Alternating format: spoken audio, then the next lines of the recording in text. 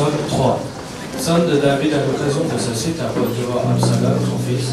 Ô éternel, que mes ennemis sont nombreux. Quelle multitude se lève contre moi. Combien qui disent à mon sujet, plus de salut pour lui auprès de Dieu. Mais toi, ô éternel, tu es mon bouclier, tu es ma gloire, et tu relèves ma tête. De ma voix, je crie à l'éternel, et il me répond de sa montagne sainte. Je me couche et je m'endors, je me réveille car l'Éternel est mon soutien. Je ne crains pas les myriades de peuples qui, qui m'assiègent de toutes parts. Lève-toi, Éternel, sauve-moi, mon Dieu, car tu frappes à la, à la joue tous mes ennemis. Tu brises les dents des méchants. Le salut est auprès de l'Éternel. Que ta bénédiction soit sur ton peuple. Amen. Amen.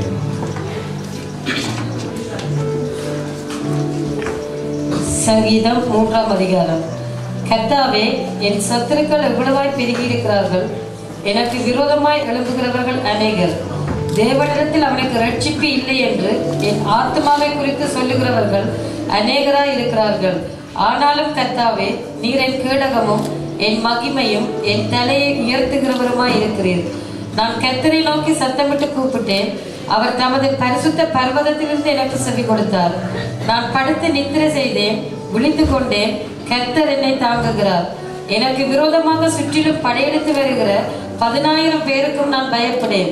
கர்த்தாவே எழுந்தருளும் என் தேவனே நிகழ்ச்சியும் நீர் என் பகைஞர் எல்லாரையும் தாடையிலே அடித்து துன்மார்களுடைய பற்களை தகர்த்து போட்டீர்.